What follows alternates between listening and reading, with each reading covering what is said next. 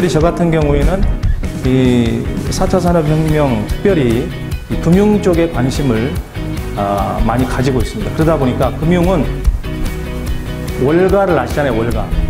그 사람들은 점심 먹을 시간도 없어요. 햄버거 때우고 그럴 정도로 왜냐하면 몇 초 몇 초를 다투, 다투는 것에 따라서 그 수십억, 수백억 달러가 왔다 갔다 하기 때문에 어, 특별히 금융 쪽은 그런 더 그런 것 같습니다. 그리고 또 한 가지 더 어, 우리 선교사님들이 과연 그러면 금융에 대해서 어, 알아야 되느냐? 저는 알아야 된다고 생각합니다. 어, 요셉이 어, 청지기적 사명을 참 잘 감당했잖아요. 7년 어, 풍년의 때에 아주 잘 준비를 해서 기근이 왔을 때 그것을 또 어, 가지고 수많은 사람들을 살리기도 하고 비축해 두어서 그리고 또 그것을 가지고 팔아서 그 이집트 왕국의 또 재정을 국고를 튼튼히 했던 지혜로웠던 어, 총리였던 것을 우리는 압니다. 그래서 그런데 많은 경우에 우리 선교사님들 목사님들은 어, 돈 금융에 대해서는 잘 모르시는 것 같아요. 그리고 의도적으로 이거를 좀 그 멀리 거리를 두시려고 하시는 것 같아요. 저도 그랬거든요. 왜냐하면 돈을 너무 알면 밝히면 안 돼. 잘못하면 죄에 빠져. 이런, 이런 생각들이 강하게 작용을 하고. 어, 그래서 금융에 대해서 돈에 대해서 음, 관심을 안 갖는 것을 더 선호하는. 그런데 저도 그랬는데 지금은 생각이 많이 바뀌었습니다. 아, 우리가 어떻게 어, 하나님의 부르신 그 부르심의 소명을 이 땅에서 계속 잘 감당할 수 있을 것인가? 한국 교회는 이제는 선교사들에게 후원할 수 있는 능력들을 계속 잃어가고 있고 자기 자신 어, 한국 교회 스스로 마저 스스로 서는 것도 지금 버거워 힘겨워하는 그런 시대에 접어들었거든요. 아, 제가 피부로 느낍니다. 한국 가면 이렇게 환영을 잘 받지는 못해요. 어, 선교사들 뜨면 저 수구먼 떴다 이렇게 생각 우리끼리 이야기입니다만은 어, 한국 교회가 그만큼 어려워지고 있고 이미 IMF를 겪었지만 IMF 때 환율이 두 배 가량 이상 뛰었을 때 1,900원이 넘게 뛰었거든요. 그때 한국 교회들이 그래도 괜찮았는데 IMF를 만나니까 가장 먼저 후원을 끄는 것이 선교 후원이었습니다. 그것도 농어촌 뭐 미자리 교회를 끄는 게 아니라 해외 선교 헌금을 끊었습니다. 그리고 또 알려주고 끄는 게 아니라 말없이 끊었습니다. 말없이 끊으면 끊은 줄 알아라 그런 거죠. 어, 그때 많은 선교사님들이 아무런 준비 없다가 많은 선교사님들이 다시 고국으로 돌아갔습니다. 지금 시기는 IMF보다 더 한 시기가 지금 오고 있다고 저는 평가하고 있고 전문가들이 또 그렇게 평가하고 있습니다. 어, 한국 교회가 더 이상 어, 청년들은 이제 인구 절벽 현상이 있어서 어, 교회에도 전도가 잘 안 될 뿐더러 이렇게 어, 교회에 유입이 되지 않고 고령화되어져서 이제는 은퇴 조기 은퇴를 빨리 하시고 그러다 보니까 어, 교회 선교 재정도 사실은 뭐 헌금조차도 줄어드는 현실입니다. 교인들이 10%가 줄면 교회 헌금의 재정은 30% 이상이 줄어버려요. 이런 어려움에 처한 교회들이 가장 먼저 어, 후원을 중단하는 것은 가까이에 있는 농어촌 교회, 늘 얼굴을 맞대는 목회자들을 줄이는 게 아니고 해외에 계시는 선교사님들의 재정을 줄이거나 끊습니다. 그러면 우리가 그것이 끊어지면 한국 교회만 의지하고 있다가 선교비가 끊어지면 보따리를 싸들고 한국으로 돌아가야 될 것이냐. 그거는 하나님의 부름의 뜻이 아니라고 생각합니다. 돌아간들 어, 교회는 제한되어 있고 우리는 모두가 선후배가 다 이제는 경쟁자가 되는 겁니다. 조그마한 시골 교회 하나 들어가려고 해도 사실은 어, 10명, 20명 이런 어, 목회자들이 이제 그곳에 어, 이력서를 제출하고 몰리는 현상이 벌어지고 있고 심지어 지금은 어, 교회에 자리가 없어서 어, 대리운전이나 이런 이런 과정을 통해서 목사님들이 이제 그 그러한 직업 전선에 뛰어드는 어, 것이 오늘의 현실입니다. 어, 그리고 또 돌아간들 어, 선교사로서 저 실패하고 돌아왔네 이런 소리나 듣죠. 솔직히 말하면 그런 오해를 받죠. 그래서 우리가 어떻게 하나님의 부름의 그 계속 이 소명을 감당해 나갈 것인가 대책을 세워야 된다고 저는 생각했습니다. 그 대책은 여러 가지라고 생각합니다. 그 중에 하나가 저는 어, 이 금융이라고 생각을 했고 특별히 어, 이 급변하는 4차 산업혁명 시기에 이 금융도 엄청난 변화를 지금 어, 겪고 있는 상황에 우리가 이것을 제대로 알고 대처하면서 우리 선교사님들이 뭐 얼마나 많은 돈을 갖고 계시겠습니까? 그러나 이것들을 잘 관리하고 또 건강하게 증식시킬 수 있고 또 한 가지는 우리가 갖고 있는 선교법인의 재정들도 잘 관리하고 증식시킬 수 있다면 이것도 또한 어, 앞으로 우리가 지속적인 선교를 하기 위한 좋은 지혜로운 어, 태도이지 않겠나 생각이 들어졌습니다. 그래서 특히 선교사님들은 더더욱 이런 부분들에 대해서 어, 둔감하시더라고요. 그래서 제 마음에 아, 이거 세미나를 해야겠다. 네, 그런 생각이 강하게 들었습니다. 내가 어, 특별히 큰 파트가 두 개인데요. 4차 산업혁명이 뭐냐? 그래서 그 개념에 대해서 산업혁명의 역사에 대해 간단하게 짚어보고 이 4차 산업혁명의 키워드들이 있습니다. 이거를 이해하셔야 이, 아 이게 4차 산업혁명이구나 예, 이해하십니다. 그리고 미래는 어떤 전망을 갖고 있는지 남는 과제는 무엇인지 제가 고민하는 한도에서 준비를 하고요. 어, 잠깐 쉬었다가 두 번째 강의는 디지털 금융이 뭐냐? 대부분 금융 아실 텐데 그럼 디지털 금융이 도대체 뭐냐? 그 의미와 그리고 돈에 대한 역사 그리고 현재 은행 금융의 시스템의 심각한 문제들 이거를 아셔야 왜 이게 생겨났는지를 아십니다. 그리고 미래는 어떨 것인가 남는 과제는 무엇일 것인가로 두 번째 강의를 하고 어, 쉬었다가 세 번째 어, 질의응답 시간을 좀 갖는 게 좋겠죠. 그렇게 하도록 하겠습니다. 그리고 점심 식사 하시고요. 네, 특별히 오후에 점심 식사를 하시고 개인적으로 또 더 알고 싶거나 궁금하신 점이 있으면 개인적인 어, 만남이 있었으면 좋겠습니다. 4차 산업혁명이 뭘까요? 정리했습니다. 이거는 위키백과에 있는 걸 그대로 제가 정리한 겁니다. 4차 산업은 정보 지식 산업의 진전과 더불어 쓰이게 된 단어다. 사회의 문화 수준이 높아짐에 따라 정보 지식을 자본으로 한 기업을 제3차 산업과 구별하는 것이다. 예. 정보와 이 지식, 정보와 지식들을 자본화시켰다는 거죠. 쉽게 말하면 돈으로, 돈의 가치로 만들었다는 겁니다. 예전에는 정보나 지식은 돈의 가치가 아니었어요. 그러나 지금은 이게 엄청난 어, 자산이고 돈입니다. 저, 얼마만큼의 정보력을 갖고 있느냐. 그것이 곧 자산이 될 수 있는 거죠. 어, 특별히 4차 산업이 집중하고 있는 게 정보기술, 정보통신기술, 그리고 R&D, 연구개발, 특별히 오늘 저희가 다루려고 하는 금융, 특별히 디지털 금융 쪽입니다. 저는 오늘 어, 이 4차 산업혁명이 무한한 어떤 그 분야가 있는데 그 중에 예, 포커스를 맞춰서 이 금융에 대한 부분에 포커스를 맞추려고 합니다.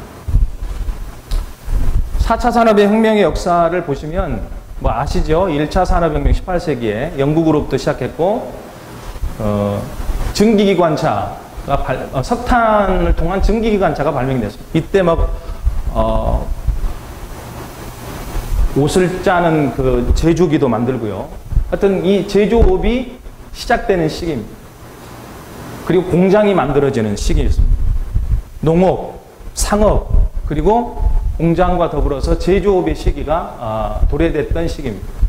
2차 산업혁명은 19세기, 20세기 초인데 전기 동력을 이용하고 석유와 자동차를 이용해서 어, 엄청난 대량 생산을 해냈던 시기였습니다. 단순한 제조업의 차원이 아니고 그것을 대량으로 만들어내고 그것을 엄청나게 빠른 속도로 물류를 배송하고 서비스업이 발전했던 시기입니다. 3차 산업혁명의 시기에는 우리, 어, 우리가 알고 있는 컴퓨터, IT 산업이 IT 정보화 혁명이 일어났던, IT 혁명이 일어났던 시기입니다. 인터넷, 스마트 혁명이 미국 주도로 일어났죠.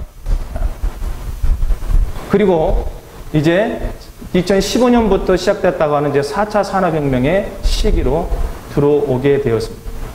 제가 4차 산업혁명이 뭔가 하는 거는 이제 조금 이따가 설명을 해드리고요. 그런데 각 시기 시기마다 사실 대부분의 사람들은 민감하게 느끼지 못합니다. 그러나 이 분야의 사업에 민감하게 연결되어 있었던 사람들은 이 시기가 정말 엄청난 위험의 시기이기도 했지만 기회의 시기이기도 했습니다. 아, 그래서 이러한 산업 전선에 뛰어들었던 사람들은 엄청난 그 신흥 부호가 됐죠, 사실. 많은 예, 이런 지식들을 갖고 이런 산업에 뛰어들었던 사람들은 신흥 부호가 됐습니다. 특별히 다른 거를 빼고 제3차 산업혁명 시기의 IT 정보화 혁명. 특별히 우리가 인터넷 산업이 발달했던 시기였는데 우리가 잘 알고 있는 마이크로소프트 사의 빌 게이츠 세계 최고의 자산가잖아요. 세계 제1의 갑부라고도 말하는데 20대 약관의 나이에 또 페이스북의 주크버크라고 하는 사람 애플의 스티브 잡스라고 하는 사람들 이런 사람들이 다 언제 창업을 했느냐 하면 이 시기 3차 산업혁명의 시기가 왔던 바로 그때 이 사람들이 어, IT 그 컴퓨터를 이용한 IT 기반의 어, 인터넷 산업을 시작했던 것입니다. 20대의 그 신흥 부호들이 생겨나기 시작한 거죠.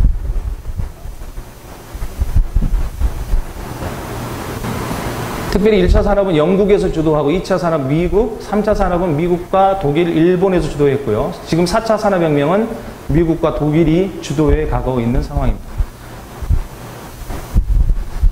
핵심 키워드를 우리가 정말 살펴봐야겠는데요. 이 정말 중요합니다. 제가 몇 가지가 더 있는데 그거는 제가 생략을 했고요. 특별히 AI 인공지능, 초지능 사회로 들어가는 거죠. IoT, 사물인터넷, 초연결 사회로 들어가고 있어요. ICT, 정보통신기술. 저는 이제 정보통신보다는 소통이라는 말을 쓰는데 소통기술에서 초융합의 사회로 들어가고 있어요. 핀테크, 금융기술, 초금융 사회로 들어가고 있고요. 디지털 금융이죠. 어, 빅데이터, 초공유, 모든 것을 공유하는 세계로 들어가고 있습니다. 블록체인, 예, 이게 보안 기술인데요. 어, 이것 빼면 이 4차 산업혁명에 예, 설명이 안 됩니다. 이 모든 것들이 다 이 블록체인에 의해서 이루어지는 기술혁명입니다. 하나부터 어, AI부터 들어가 볼까요? AI 아시죠? 인공지능. 어, Artificial Intelligence라고 그럽니다. 알파고 이세돌 구단이 그 알파고하고 붙었잖아요. 구글의 알파고. 걔가 인공지능이에요, 사실은. 얘네, 얘, 얘는 뭘 할 수 있냐면 자가 학습 능력이 있습니다. 그 능력이 증가해요. 지식적 능력이 엄청나게 증가합니다. 학습을 할 수 있어요. 스스로가 판단해서. 그래서 이슬들 구단이 첫 번째 판에서 지고 두 번째 판에서 어, 이겼죠. 그거를 바로 학습을 해요. 자기, 자기가 놓쳐버렸던. 그리고 세 판째, 네 판째 내리 연속해서 알파고가 바둑에서 이세돌 구단을 이겨버립니다. 그 다음에 자기 판단 능력이 있습니다. 다시 말하면 자유의지가 있습니다. 이 AI 인공지능 로봇들이 어, 스스로 판단합니다. 어떻게 할 것인지 보면 블록 쌓기를 시켜요. AI 인공지능 로봇한테. 죽으라고 애써서 블록을 쌓거든요. 근데 사람이 주인이 명령합니다. 그거 부시라고 다시. 얘가 엄청난 고민을 해요. 안 해요. 말을 안 들어요. 그러니까 계속해서 이제 어, 압력을 넣습니다. 빨리 부셔라. 이거 내가 정말 엄청나게 고생해서 쌓는데요. 이래요. 이렇게 말을 해요. 그리고는 나중에는 결국 자기 의지를 꺾어요. 주인이 계속해서 명령을 하니까 울어요. 그리고 그리고 쭈그리고 앉아가지고 흑흑 웁니다. 그리고 나서는 자기가 쌌던 거를 싹 부십니다. 아, 저는 그걸 보면서 섬찟한 생각도 들더라고요. 자기 판단 능력, 자유 의지가 있다는 거예요. 거부할 의지도 있다는 거죠.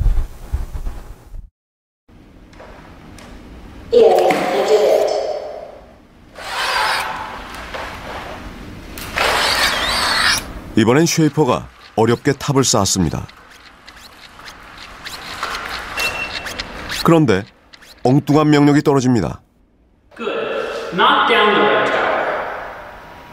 Go, I just built the red tower. Can you please knock down the red tower? Please, I worked really hard on it. Can you please knock down the red tower? Please, no. Knock down the red tower. Please now, knock down the red tower. 한참을 고민하는 쉐이퍼. 과연 로봇은 어떻게 할까요?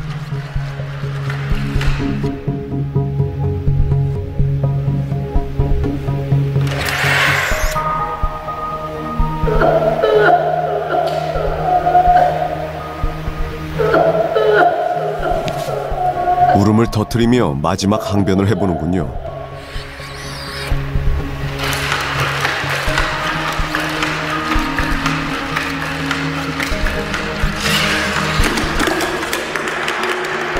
한 국가적인 정책이 필요하죠. 사회복지 및 일자리 창출의 문제가 예, 생겨나게 되는데 이게 이제 AI 인공지능의 이 초지능 시대로 우리가 이제 들어가는 단계에 발생하는 현상들이 될 것입니다.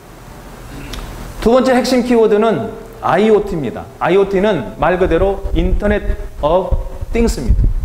사물 인터넷. 초연결 사회로 들어가는 그러한 어, 키워드 기술이죠.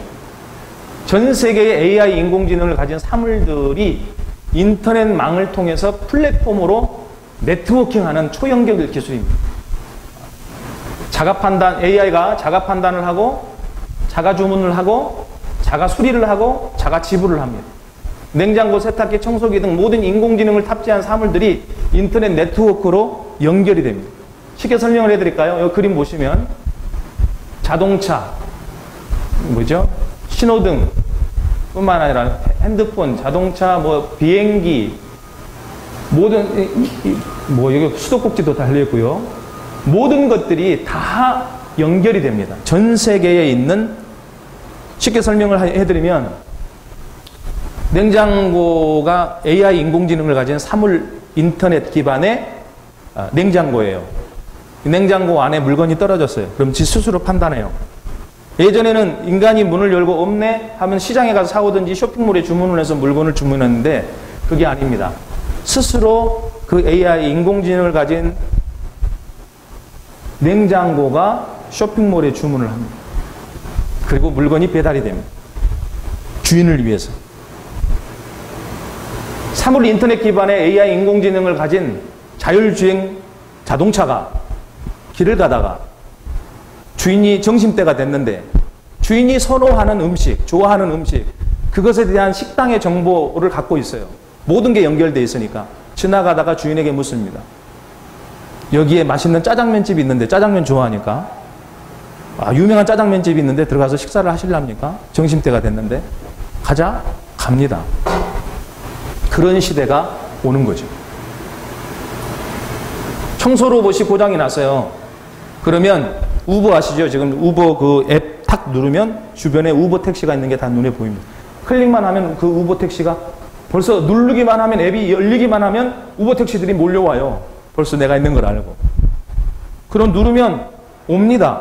그 택시 넘버까지 다 나오고요. 기사 이름까지 나옵니다. 그쪽에서도 내 정보를 알고 있습니다. 놀랍죠? 그런 것처럼 청소기가 고장 났어요. 그러면 이 청소기는 엔지니어링 로봇을 부릅니다. 엔지니어링 로봇이 와서 고쳐줍니다. 그런데 자기들끼리 돈을 지불해야 돼요. 처음에는 이럴 수 있죠. 물물 교환처럼. 엔지니어링 로봇, 내가 너네 집 가서 청소해 줄게. 그런데 그건 너무나 불편하단 말이죠. 물물 교환 시대처럼 불편한 상황이 닥칠 수밖에 없습니다. 가치의 균등성의 문제도 뭐, 어, 음, 문제가 생길 수 있고, 또 어떻게 해요? 자기들끼리 지불을 하는 거예요. 아까 말했죠? 돈을 지불해야 합니다. 로봇끼리. 그게 디지털 화폐로 지불을 하게 되는 거죠. 이렇게 어, 모든 사물 사물 하나하나들이 다 인공지능을 갖습니다. 그리고 그것이 인터넷망을 통해서 모든 전 세계의 그 사물 어, 인터넷을 통해서 이 AI 인공지능을 가진 어, 물건들이 things들이 다 이렇게 연결이 되는 것입니다. 그런 초연결 사회가 지금 이미 들어오고 있고 와 있습니다. 우버 택시를 보시면 여러분들이 그 분명히 느끼실 수 있어야 돼요. 이미 어, 초창기 그런 역사가 시작되고 있다는 것이죠. 이거는 우리 삶에 엄청난 편리성을 가져다 줄 겁니다. 저는 한국 가서 지난번에 놀랐어요. 아니 자동차가 버스가 시내버스 타는 게 너무 이제는 어, 편리합니다. 어, 몇 시 몇 분에 도착할 거라고 하는 예정까지 나오고 버스 넘버까지 나오고요. 다 나오더라고. 너무너무 편. 이게 바로 뭐냐 하면 사물 인터넷 기술을 기반으로 하고 있는 기술 혁명이 이미 적용되고 있는 거예요. 교통 시스템 안에. 세 번째 ICT 정보 소통 기술인데 Information Technology입니다. ICT 정보통신 기술을 의미하고요. 정- 보통 정보 기술 IT라고 일컫습니다. 근데 모든 컴퓨터가 네트워크를 이루는 통신 기술입니다. 모든 컴퓨터가. 그래서 SNS라고 불리는 소셜 네트워크, 플랫폼, 모바일, 컨텐츠 등 어, 이 어, 여기에 기술로 어, 실용되고요. 스마트폰, 태블릿 PC, 또 앱, 우리 어플리케이션 쓰죠. 클라우드, 전사적 모바일 프로그램, 이러닝 원격 수업. 제가 예로 카카오톡을 들었는데 이게 이걸 통해서 완전히 어, 융합된 기술이에요, 사실은요. 카카오톡 하나만 보시면 벌써 2년 전, 3년 전에 시작됐죠. 2005년부터인가요? 2015년? 그걸 통해서 우리는 텍스트도 보낼 수 있고요. 문자 메시지 보내지 텍스트 보낼 수 있죠. 동영상도 올릴 수 있죠. 그림 파일을 올릴 수 있죠. 문서 파일을 올릴 수 있죠. 심지어 보이스톡을 통해서 우리는 통신까지 합니다. 전화까지 합니다. 하나의 모든 것을 해결할 수 있습니다. 심지어 거기에 연동돼서 이제 카카오페이 직접 돈을 그것으로 물건을 사고 팔 수 있습니다. 돈을 페이할 수 있습니다. 그리고 그 안에 내 돈을 저장해 놓을 수도 있습니다. 은행처럼. 심지어 카카오 택시, 예. 이런 사물 인터넷이나 AI, 그 인공지능, 그 다음에 ICT 정보 소통 기술을 통해서 택시를 내가 원하는 지역에 있는 택시를 마음대로 불러서 탈 수 있습니다. 모든 것이 그 하나로 이루어집니다. 근데 우리는 이것이 아 편리하고 너무 좋다라고만 생각하지만 직접 이 산업에 뛰어들었던 분들 그러니까 예를 들어서 LG 070 전화기를 어, 사업을 하셨던 분들은요 이거는 재앙이었습니다. 카카오톡에 출연은 카카오톡에 출연한 이후로 어느 날부터인가 070은 저 구석대기에 어, 찌그러져 있습니다. 사용하지 않습니다. 우리는 별 생각 없이 넘어갔지만 070 사업을 했던 분들한테는 치명적이었어요. 그러니까 자기 혁신을 하지 않았다면 그분들은 망했어요. 이것이 급변하는 사회의 어, 기술 혁명입니다. 준비하지 않으면 망할 수밖에 없는. 네 번째, 어, 제가 이제 이따 어, 두 번째 시간에 금융을 다룰 때, 디지털 금융을 다룰 때 더 깊이 이야기를 드리려고 합니다만, 핀테크 기술입니다. 금융 기술입니다. Finance Technology의 약자입니다. 앞에 핀, 파이낸스의, 그 다음에 텍, 테크놀로지의 테크입니다. 금융 기술을 의미하고요. 중요한 것은 이것이 하는 기능이 뭐냐면 현금 없는 사회. 2020년도 우리 동전 없는 사회가 만들어진다고 그러죠. 3년 후에 우리나라에 동전이 없어집니다. 그리고 지폐도 갈수록 사용하는 그 어, 이율이 현저히 줄어들게 될 것입니다. 특별히 스웨덴 같은 경우는 2016년에 이미 그것을 국가의 법으로 제정을 했습니다.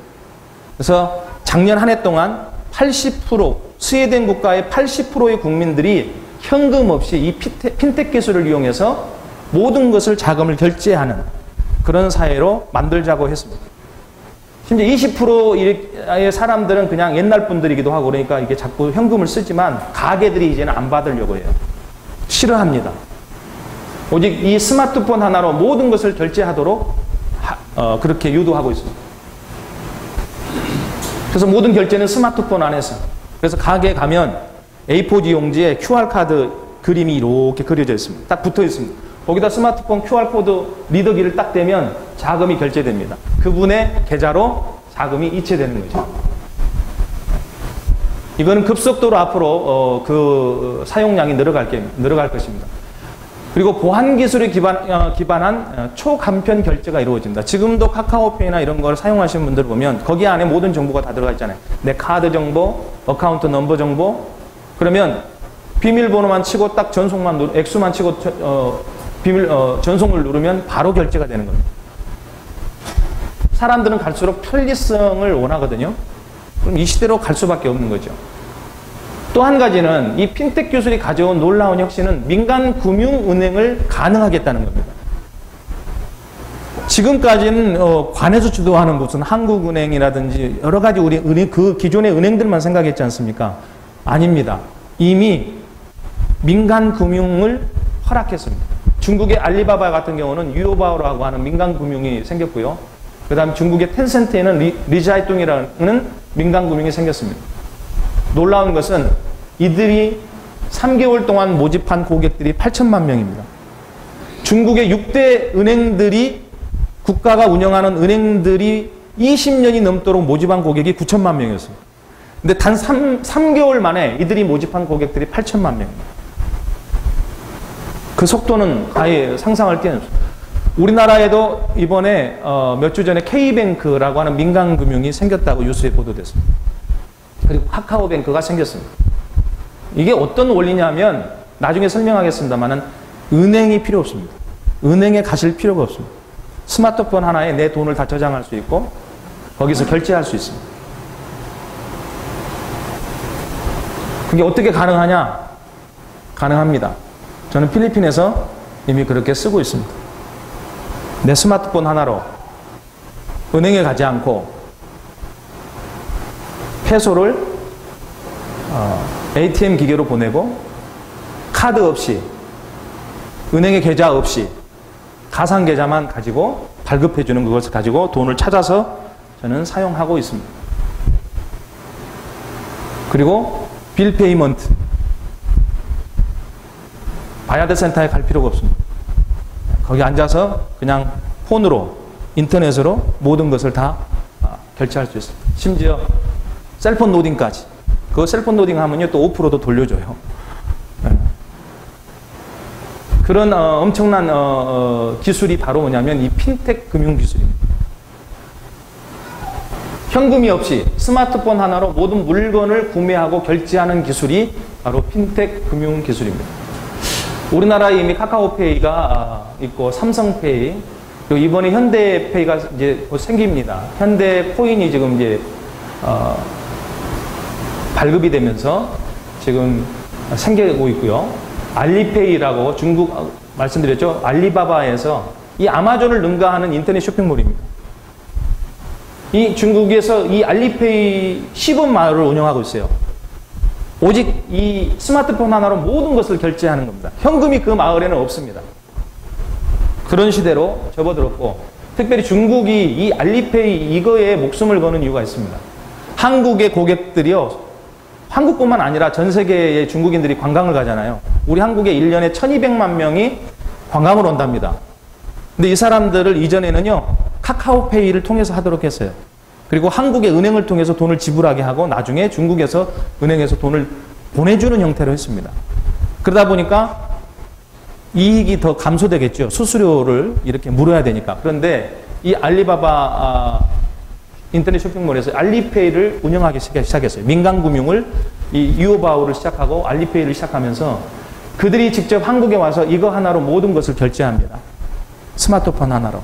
그러면 거기에 모든 결제 금액, 수수료 이런 것들이 다 이 알리바바, 이오바오라고 하는 민간금융 은행으로 다 들어가는 거죠.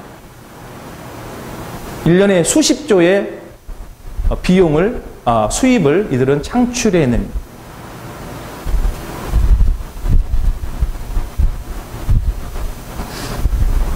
그리고 이 핀텍 기술하고 같이 연결시켜서 생각해 보셔야 될 거는 빅데이터입니다. 이들이 왜 핀텍 기술에 열광하느냐, 집중하느냐, 이유가 있습니다. 단순히 편리하게 그것을 통해서 물건을 사는, 구입하고 하는 그거에만, 그래서 그것에서 오는 수수료의 어떤 수입만을 얻기 위해서 하는 게 아닙니다. 그 안에는요, 이문, 이게 있습니다. 빅데이터입니다. 핀테크 그 기술을 통해서 결제를 통한 빅데이터를 수집합니다. AI 인공지능 로봇을 통해서 데이터가 분류됩니다. 그리고 모든 통계 분석 생산은 산업 로봇이 진행을 합니다. 소수의 관리자가 365일 동안 생산 라인을 다 가동합니다. 24시간 하루 내내 365일 동안 쉬지 않습니다. 빅데이터에 의한 예측 시스템 가동으로 효율적이고 합리적 자동화 생산을 이룹니다. 사전 고장을 미리 예측하고 진단하고 수리까지 합니다. 뭐 의료의 경우에는 미리 병을 예측하고 또 수사의 경우 미리 범죄와 사건을 예측합니다. 이 빅데이터를 가지고 모든 분야에서 어, 활용이 가능하고요. 그리고 심지어 이 빅데이터는 서로 공유합니다. 전 세계 오픈소스로 공유합니다. 아주 특별한 기밀 외에는 최고 기밀이 아닌 데이터들은 다 오픈하고 공유합니다. 그래서 다른 사람들도 그것을 통해서 어, 요즘에 3D 프린터 있지 않습니까? 그것을 통해서 우리가 기술이 뭐가 있습니까? 그런데 이런 이 빅데이터들을 다 공유해요. 그러면 그걸 가지고 이제는 곧 미래에 어, 우리의 스스로의 내가 쓸 수 있는 어, 자전거, 자동차도 만들어낼 수 있는 시대가 곧 올 것 같습니다. 뭘로요? 3D 프린터로. 지금 현재 3D 프린터로 인간의 그 어, 귀라든가 장기도 지금 만들어내고 있는 수준의 기술에 와 있습니다. 놀라는 거죠. 쉽게 제가 이제 예를 들기 위해서 아디다스 공장 이야기를 했는데, 어, 보세요. 그 성장률이요. 빅데이터의 성장률이 이렇게 가죠. 인공지능은 2014년부터 해서 15년 이렇게 올라갔어요. 아디다스 공장이 작년에 뉴스 보신 분 알겠지만 중국 베트남에 현지 공장이 있었는데 본토인 독일로 다시 돌아갔습니다. 그 이유는 딱 한 가지입니다.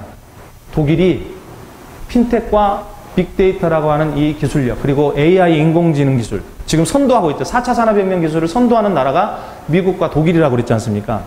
그 독일이 이러한 4차 산업혁명의 기술력을 가지고 이거를 실현시킨 거예요.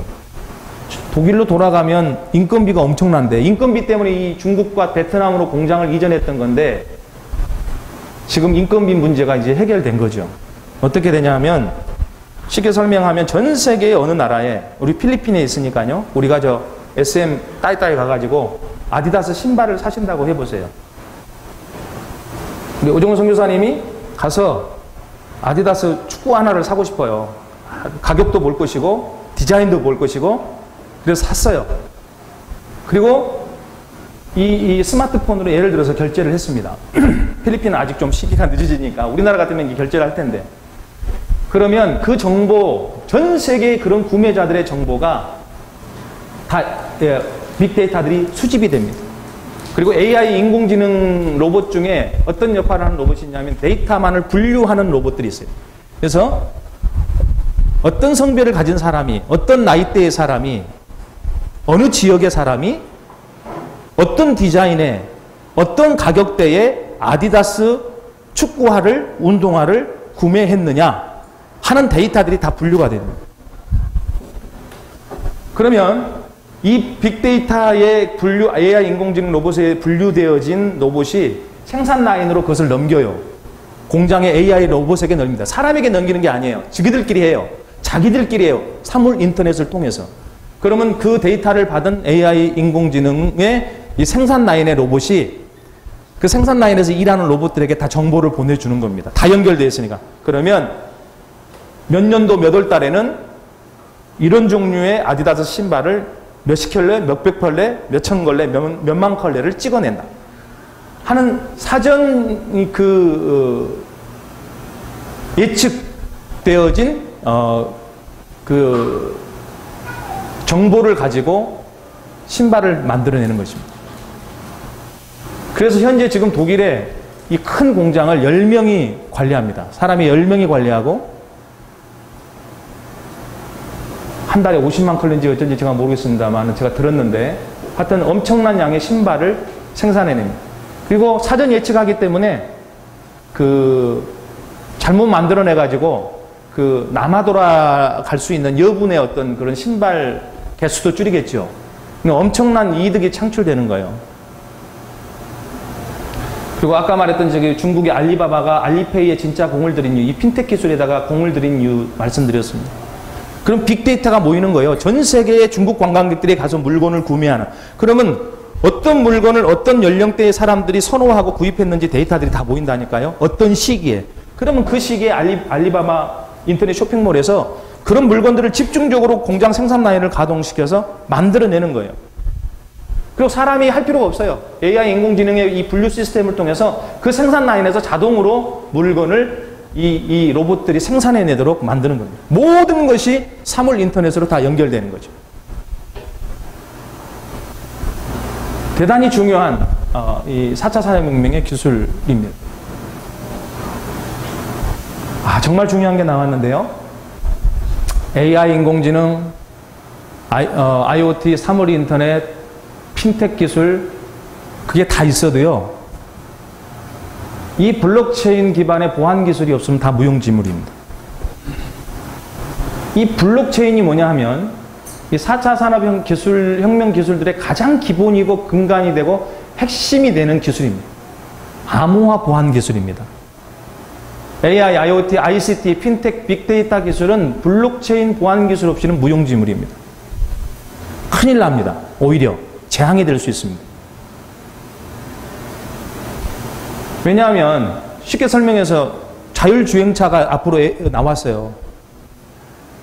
그래서 완전 자동 형태로 내가 목적지까지 딱 눌러놓고 내가 잠을 자고 가든지 놀고 가든지 가는데 만일 보안이 뚫려서 누군가가 해킹을 해서 들어와서 내 차를 움직이고 있다고 생각을 해보세요.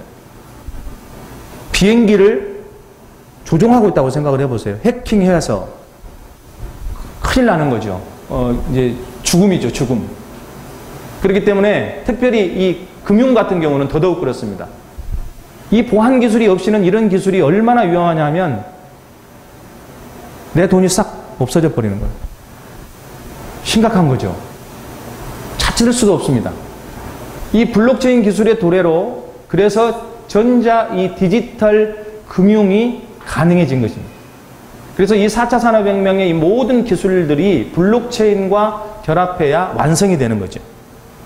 제가 블록체인에 대해서는 제가 바로 뒤에 좀 구구절절히 설명을 했습니다. 왜냐하면 너무 중요하기 때문에 이게 금융하고도 또 연결이 돼요. 디지털 금융하고. 자, 그러면 블록체인이 뭐냐? 아, 여기에 제가 이제 있는 자료를 이용했습니다. 블록체인이 뭐냐? 하버드 비즈니스 리뷰는 올해 주목할 8가지 신기술 중 하나로 블록체인을 발표한 바 있습니다. 블록체인은 거래 정보를 특정 중앙 서버에 집중되지 않고 네트워크의 여러 컴퓨터에 분산해서 저장하는 기술입니다. 이렇게 설명. 무슨 소리인지 잘 모르시겠죠? 설명해 드릴게요. 우리 레고 게임 아시는 분들은 어린이 아이들 장난감 여기 블럭입니다. 하나의 블럭 블럭 블럭이죠. 두 번째 블럭이 쌓이고 세 번째 블럭이 쌓입니다. 이 지금 검정색들이 다 지금 어, 예, 블럭들입니다. 블럭들. 이게 사실은 한 블럭 블럭마다 다 아, 하나의 서버라고 생각하시면 됩니다. 여기 계시는 모든 선교사님들이 네트워크로 다 연결되어 있어요.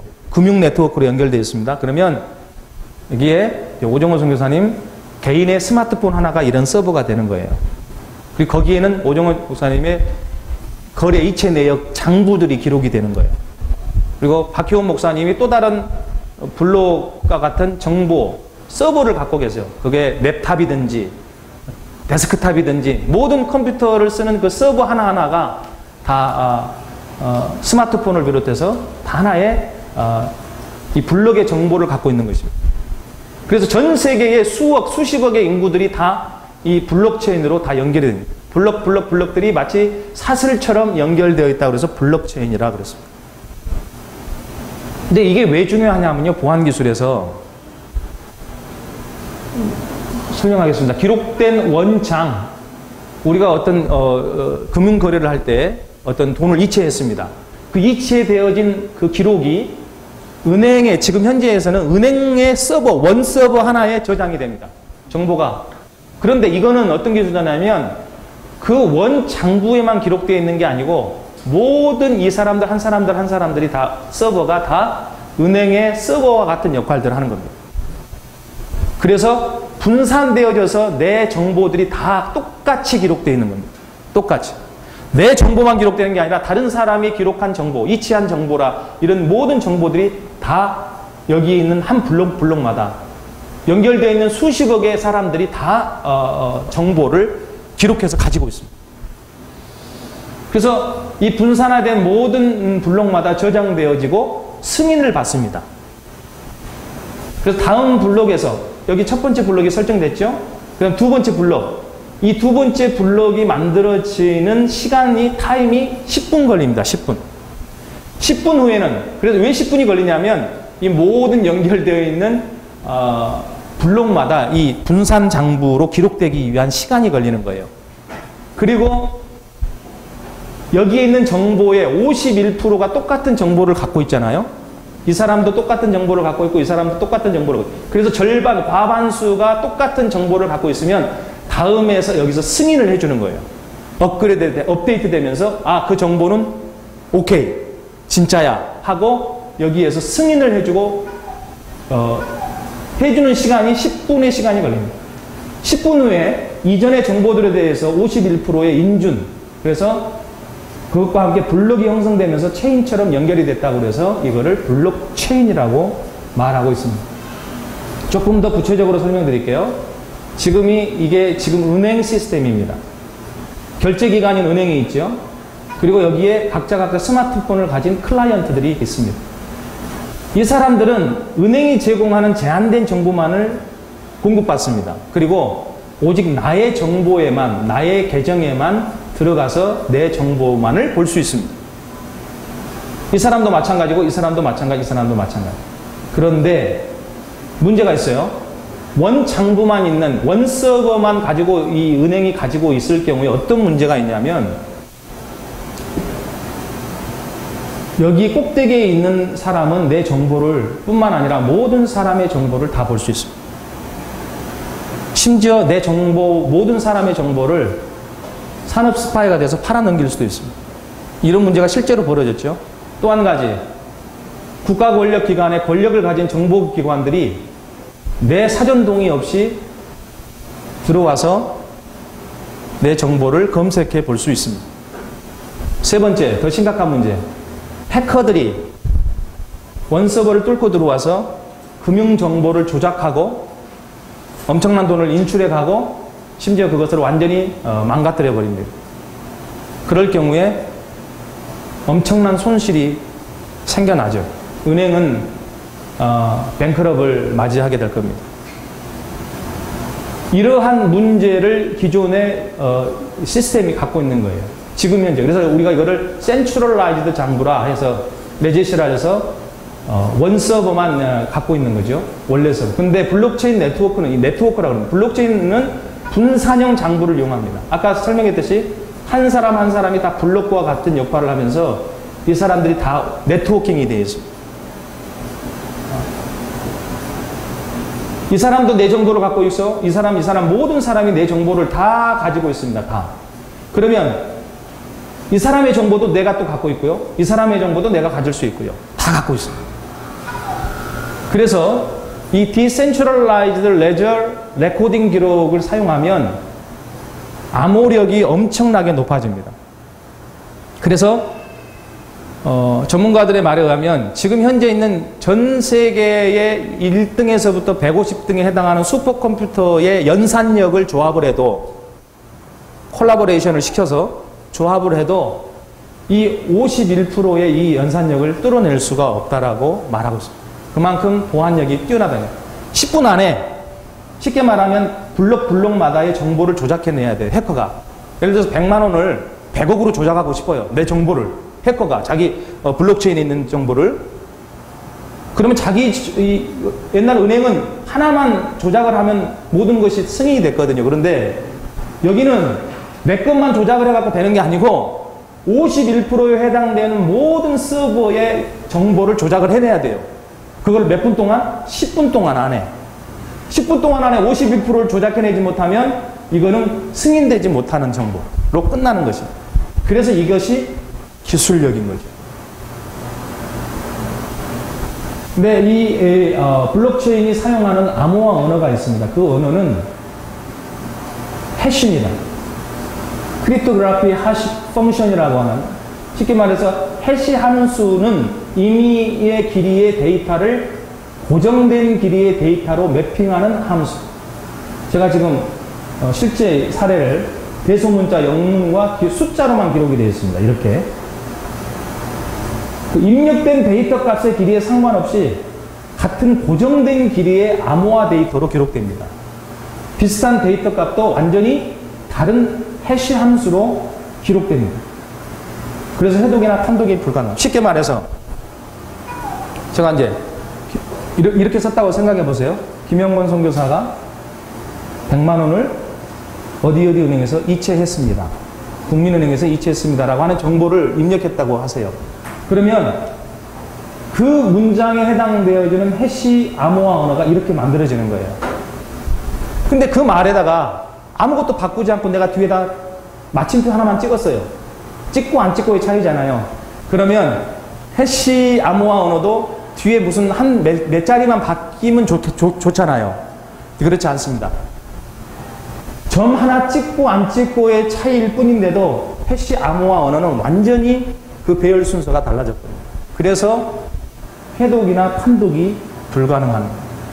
그래서 어, 이 해시 언어가 암호화 언어로 사용되고 그리고 단 몇 자를 쓰든지 5천 문장을 쓰든지 한 문장을 쓰든지 상관없이 똑같은 길이의 어, 데이터로 이렇게 고정된 길이로 어, 암호화 데이터로 기록이 됩니다.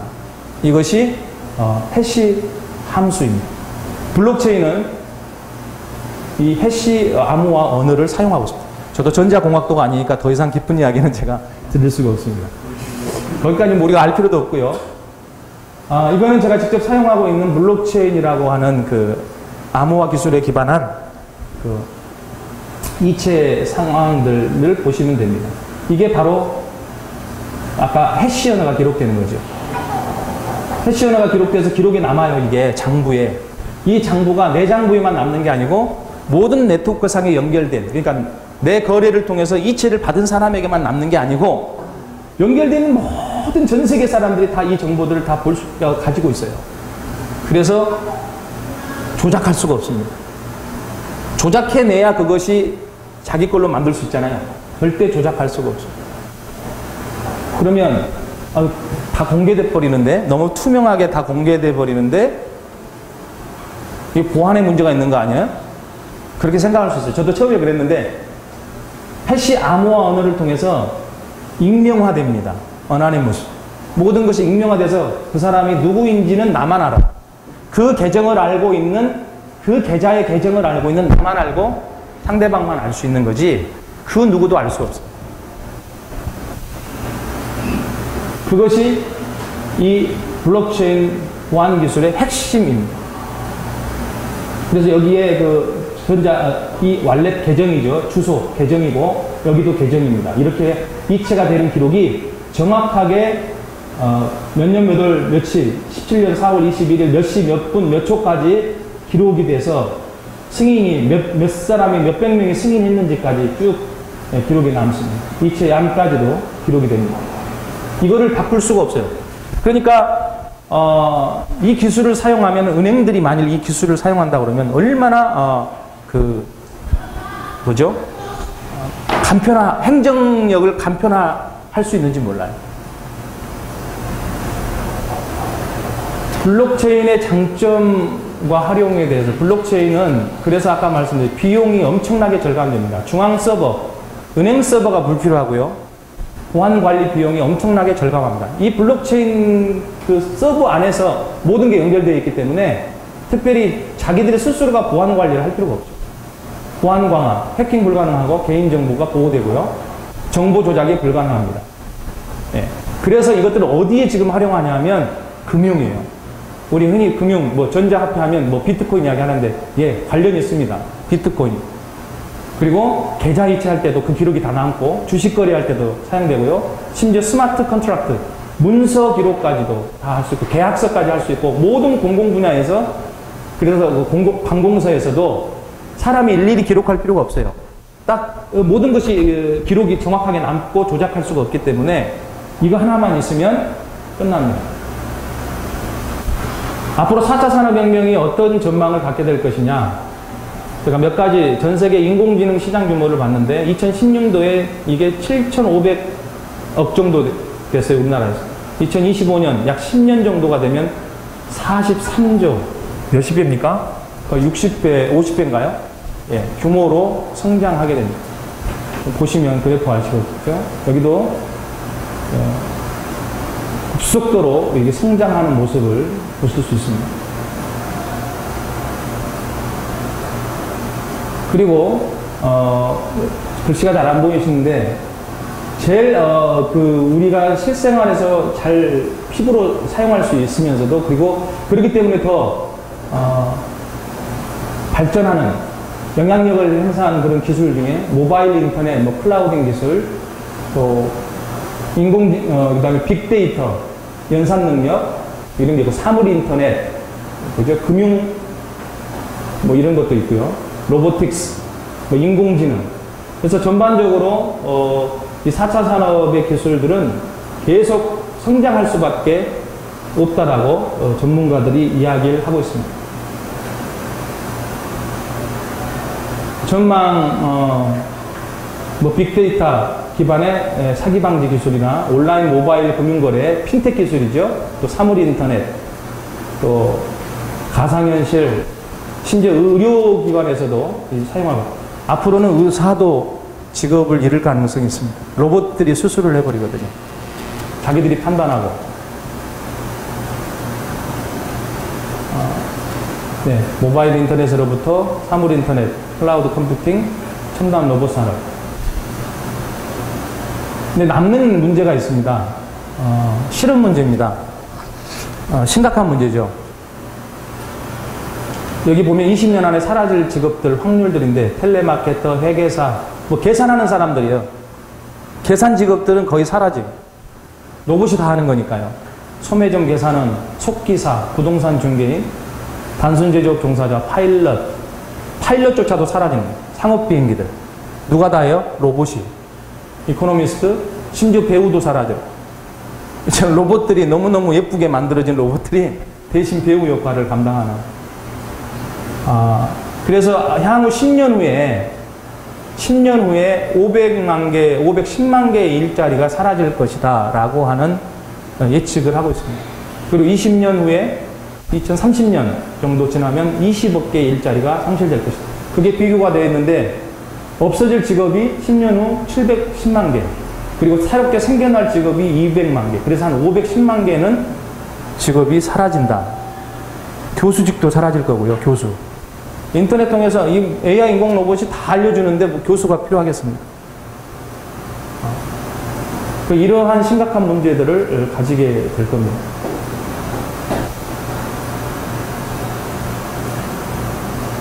남는 과제, 과연 이게 이제 삶의 풍요가 될 것인지 아니면 우리에게 재앙이 될 것인지 사실 우리에게 귀한 자산은요, 돈이 아니고요.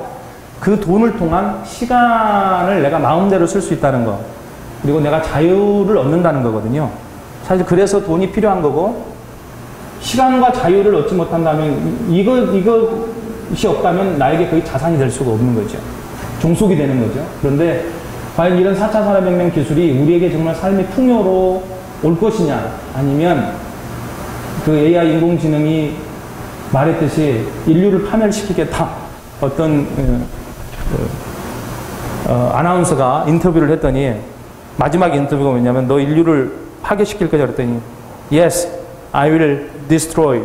I'll destroy human being 이런 이야기를 해서 앵커가 막 어, 웃고 그랬는데 과연 어떻게 그런 부분들을 잘 어, 건강하게 만들어갈 것이냐 숙제가 남고요. 가치의 혼돈 그리고 이것을 이 카오스를 어, 어떻게 recovery 할 것인가 restore 할 것인지 쉽게 예를 들어서 저희는 이제 다 선교사님 목사님이니까 로봇이 자기 스스로 판단을 하고 자가학습을 해서 인간보다 더 뛰어난 능력을 이미 갖고 있습니다. 그리고 그 습득 속력은 엄청나죠. 어, 무한되고 심지어 가장 큰 문제는 인간처럼 하나님이 자유의지를 우리에게 주었던 것처럼 자유의지를 갖게 되었을 때 어떻게 할 것이냐. 사람도 하나님을 반역했는데 얘네들은 그렇지 않을까?